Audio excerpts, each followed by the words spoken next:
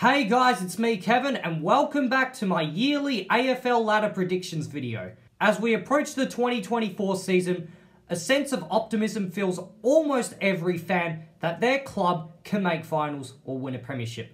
And in today's video, I'm going to be going through which teams I think will make the eight and where I think each team is going to perform this year. Now, I'm going to do my predictions a little bit different in this video today so that, so that I don't end up with a similar ladder like last year's. Rather than going from 18th to 1st, I'm going to set a framework with a series of questions which I must adhere to in order to make some bold ladder predictions. Here is the framework I'm going to be operating off today. I must predict three teams from last year's top eight to miss the finals. One of them must be a preliminary finalist, and the other two must be either the semi or elimination finalists. Of those teams I'm predicting to miss the eight from last year's top eight, one must finish bottom four. Then I must predict three teams that missed the finals from last year to make the finals. One of them must come from the bottom four, and one of those three teams I must predict to make the top four. Now, Let's start with answering probably the easiest of these questions. Which bottom four team will make the finals? There's an obvious one there, the Gold Coast Suns. They've got Damien Hardwick coaching them now. They've just come off an excellent draft haul, and the core group of players which they um, have got for a while, Rowell, Anderson, Keays, Miller, you know, they've all gotten used to the AFL system, and I think they're ready to take off. You know, their performances weren't that bad last year. They had some impressive wins against the Bulldogs, Adelaide, Saints, and Brisbane they're starting to make Metricon a little bit of a um, fortress. I think there's signs that they could be becoming increasingly hard to beat there. And the AFL really, really want the Suns to make finals this year. They have been given the Eagles, North, and Hawthorn each to play twice. And those are the three teams which are widely tipped to be in the bot the worst teams going into this year. So the Suns have got a very easy fixture. With Damien Hardwick coaching the Suns, surely, surely this is the year they make finals. If not now, when? Now, which other non-finalist could make the eight? One which I think is plain obvious is the Western Bulldogs. There is no way this side's missing finals again. I don't know what happened last year, but when you've got players such as Bontempelli, Macrae, Treloar, uh, Liberatore, etc., English in your ruck, you've got Naughton, um, Jamarra Ugle-Hagan, I mean, he's only getting better and better. There is absolutely zero way this side is missing finals again. The other team, which I'm a little bit hesitant about, but I'm going to put him in, and I'm going to say they're going to make the top four, is the Adelaide Crows. Now, I'm a bit hesitant about this one because they are still an extremely young side. And are they too reliant on Tex Walker as well as Laird and Dawson? Uh, and their backline is a little bit questionable. So I am, I do have a bit of reservations about this prediction. Uh, however, um, I do think looking last year, their best football was very much finals worthy. It, they played an exciting brand of football, and they're very uh, they're a very high scoring team, which generally speaking tends to lead teams to higher finishing positions. Just look at Brisbane over the last few years. I think also the Crows, they've got a very strong record at Adelaide Oval. It's going to be very hard to beat them there. Don't, and also, all these players are going to get a year older and they are going to get more experienced. And there's just this thing, when you get heartbroken in the finals, either in the finals or you just miss out finals by absolutely nothing, you tend to improve the next year. Look at Carlton in 22, Freo the year before, and then also Melbourne in 2017. And all three of those teams went on to finish much better um, Freo, Melbourne fifth, and Carlton. I think Adelaide could sneak into the top four um, based on that. One team I considered at length as well was Geelong. They've got a fairly mild fixture. The, the highest ranked team they play from last year is Carlton, and they also get double ups against Hawthorn and North. And you know they've got a they've still got a strong record at GMHBA Stadium, and if they can keep all their veterans fit and firing, I reckon Geelong could easily make the top four, to be honest with you. I still think they're capable of doing it, but I just think if injuries strike again, uh, Geelong are a little bit vulnerable. Now, the part of the video which is going to piss everybody off. Which of last year's finalists are going to miss the finals this year? One big slider I have got is Melbourne, mainly due to all the cultural issues they have got. They have had the off-season from hell last year. Right? They had Joel Smith provisionally suspended due to drugs. Clayton Oliver being Clayton Oliver. I don't even know what's going on there. Um, Angus Brayshaw has now retired, leaving a big gap in the defence, and their forward is an absolute disaster. I don't think they've got Melksham for the season, and I think Petty is going to be out for stages as well. So, yeah, a lot of issues facing Melbourne. They don't stand up during crisis, this team. Um, they went out in straight sets in 2022 and 2023. Not to forget that they finished 17th in 2019 after their injury riddled preseason, and I think Melbourne could be crashing for another bottom four finish. Another team which I think they're just a bit bland is Port Adelaide. Um, one of the big things with Port Adelaide is they are very inconsistent from season to season. Sometimes they look like they're the best team in the competition, and then other times they just miss the finals altogether. And that's been a pattern for the last few years. And I feel like with Ken Hinkley, given that he's in the middle of a contract, there's going to be less pressure on him compared to last year. And we see when there's less pressure on Ken Hinkley, Port Adelaide don't perform. When Hinkley's about to get the sack, they perform. So this is the middle of a contract year for Hinkley, and so I think Port will miss the finals, although they'll be in finals contention for the most of the year. Um, but the other reasons I've got is they looked very vulnerable at stages last year, particularly towards the end of the season where they lost uh, six out of their last nine games. They have got recruitments, but Sweet, Zerk, Thatcher, and Soldo, okay, they're okay players, but I don't know if they're going to quite fix what Port Adelaide, if they're going to fix everything for Port Adelaide. So does that mean I think St Kilda will back up their finals appearance from last year? Yes. I think they're going to improve this year because, to be honest, with all the injuries they had in their forward line and the injury to Jack Steele, I don't know how Saints made the finals, but they somehow did. And I think if they can get a full season under Max King, if they can get a full season under Jack Steele, and if they can get their forward line fit and firing, there is no reason why St Kilda can't back up their finals appearance or even improve on 2023. Furthermore, they have also got a very easy fixture. They get to play Essendon, Richmond, and West Coast twice. They do have to play Brisbane and Port, admittedly. Um, but I think surely if they made finals last year, things are looking a lot more positive for the Saints. Now, if I'm certain about one thing, one of Collingwood, Brisbane, Carlton, or GWS is missing the finals this year.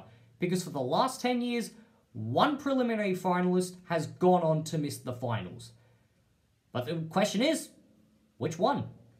I think Brisbane's safe as houses. They only lost the grand final by four points last year. And the, the teams that missed the finals after making the grand final, those are generally the ones that get embarrassed by 60, 70, 80 points. Not Brisbane who lost by four points. They're safe. I can't see Collingwood missing the finals either. Um, I think Craig McRae will get this side up and going again. I don't think there's any issues there either. And I think, look, I think GWS are looking like a really good side this year. They're my premiership tip, actually. So that leaves us with Carlton. And yes, I know, it's a big call. Carlton missing finals? Well, I, I guess there is a logical explanation I could give behind Carlton missing finals. Can they handle the hype? Okay? And to be honest, we haven't really seen Carlton win, lose, win, lose, like, kind of lose a little bit and then win a few games again um, in the last few years. Last year, they had a big losing streak. They played Gold Coast and Hawthorn just to get their confidence up a bit, and then they went bang and went on a nine game winning streak. So, how does Carlton handle losing games here and there? We don't know. Can they handle the hype? Can they handle a more difficult fixture? Will they be like Melbourne of 2019, who, after making the finals and everyone hyping Melbourne to win their first premiership in 54 years, you know, fell all the way to 17th? I don't know. Uh, to be honest, I still think Carlton will make finals, but for the purposes of adhering to this structure that I talked about earlier, I'm going to say they finish bottom six. Just, I, I, to be honest, they might collapse due to all the hype. All right, so now let's fill in the gaps. In 18th spot has to be West Coast. I mean, the injury crisis has started again. We haven't even started the year yet. I mean, they've already got players such as Flynn, Ginbey, Long, um, Hewitt, uh, Brockman, uh, McGovern. Just we're going to have a waffle team by round three again, the way we're going. Yeah, I think the Eagles, their injury crisis is to happen again, and they're to finish last again. And I think things are to get even worse for this club. And for me, unfortunately. I've got Essendon in 17th. I know this is a big drop off, and everyone is thinking that this is a chance for them to make finals with all the reinforcements that they've made in the off-season. But look at the fixture. They have got Adelaide, Collingwood, Sydney, St Kilda. And if I'm correct that Gold Coast are going to be a big improvement this year, them too. Though they do get to play the Eagles twice. So I, it maybe. It might even out. But I think Essendon, they looked very poor against um, St Kilda. I know it's a practice game. But also just the way they finished last year is very concerning. And I think Essendon, they could be in for a huge fall this year. And then I've got North Melbourne in 16th. Surely after four years in the bottom two, they at least get out of that and finish 16th. And after that, hopefully they avoid finishing bottom four from this point onwards. I think they've recruited well. Um, they've drafted extremely well. And surely they might be a little bit more competitive this year. And then, as I said, Melbourne in 15th due to all the on-field crises they're going to have. 14th, I'm going to put Richmond. I, I don't know what to make of Richmond. I actually... I, I can see them doing a GWS of this year, getting all their veterans uh, to play well and making finals, but at the same time, what if injuries strike? And I think Richmond are one of the most vulnerable teams uh, to injury, so for that reason, I can't put them higher than 14th. But for all the people saying that they're going to be bottom four, I I don't know. I, I'm a little bit more positive about the Tigers compared to many. In 13th spot, I've got Freo. Look, I the Dockers will be competitive. They'll compete for finals for half the year, but I just don't quite rate them compared to the teams above them, and I think they'll fall away later in the year. And then in 12th spot, I've got Hawthorn. I think they will be one of the sharp risers. I think they'll be similar to um, Adelaide of 2023. I think Hawthorn they will surprise many, but they will miss the finals. But I think they'll make finals in a couple years. And then 11th spot, I've got Carlton, one of the big sliders. Um, as I mentioned earlier, I've got Geelong in 10th. I think they'll be around the mark, but they will just miss the finals. And likewise with Port Adelaide, um, I do think they're still good. They're still a decent team. I mean, if things go well, they could still make top four. But I have to predict three teams to slide out of the eight, and I think Port Adelaide will be one of those three teams. I still don't trust the Bulldogs as a legitimate premiership contender, so I'm going to put him in eighth. I think Sydney in seventh. I think um, injury is going to take a toll on the Swans. They've already got two major ones to Mills and Parker. Their defence is still questionable, and they've also got some tricky double ups against teams such as Adelaide, Collingwood, GWS, and the Western Bulldogs. Um, so, yeah, I think Sydney in seventh, Gold Coast in sixth because of the fairy tale that they'll play their first ever final on the Gold Coast. Um, in fifth, I've got Brisbane because they have got a very difficult fixture. Uh, if it was any other team other than Brisbane, I would have them missing the finals. They've got double ups against teams such as Adelaide, Collingwood, Giants, St Kilda, as well as Melbourne and Gold Coast, which you don't know what to expect with those. So I think Brisbane are going to take a slight dip outside of the top four. I think in fourth, I'm going to put St Kilda. In my opinion, if they made the finals in 2023 with a much better off season, they should improve in 2024. In third spot, I've got Collingwood. They just won a premiership, they're not gone anywhere. Second spot, I'm putting Adelaide. To be honest, more so just so a team loses a home qualifying final. And in top spot, I've got GWS. I think they are going to have a very impressive year. I mean, they're going to keep up the orange tsunami, and I think with one of the best midfields in the competition and one of the best well-rounded lists, I think GWS could be in for a big, big year. As for finals, I've got GWS beating St Kilda, and as I said, Collingwood beating Adelaide in the qualifying final. I have then got Brisbane beating the Bulldogs and Gold Coast beating Sydney. In the semi-finals, I have St Kilda going out in straight sets and Brisbane making a preliminary final. However, I've got Adelaide keeping their fairy tale alive, beating the Gold Coast Suns and ending their own fairy tale. And then in the preliminary finals, I would have GWS playing Brisbane and the Giants would win that. Collingwood and Brisbane in the grand final rematch, and I would have Collingwood winning that. And then Giants and Collingwood at what should be it at Accor stadium, but we're going to have it at the MCG because it's always at the MCG.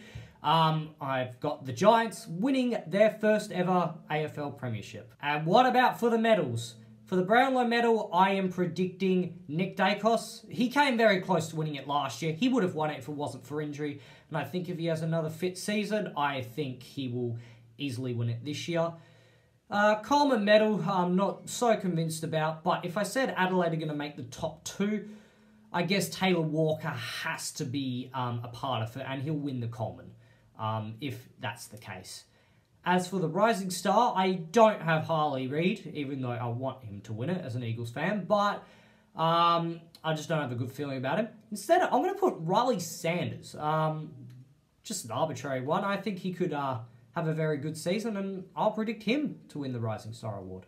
And for the Norm Smith, I'm going to predict Tom Green to have a best of field performance in the grand final. So, I hope you like my bold AFL ladder predictions. And yes, I made them bold because if I'm sure about one thing, my predictions might not be correct, but the sort of categories that I try to go for in, in shifting them around, that I'm sure will happen this year. I just don't know which teams are going to switch around. And that's the fun of this. We got to predict which teams switch around. So I hope you enjoyed this video. Please like and subscribe. Comment what you thought of my video down below and comment who you think will make the top 8 and what you think the ladder will look like. Uh, check out some of my other videos and I'll see you in the next video. Goodbye.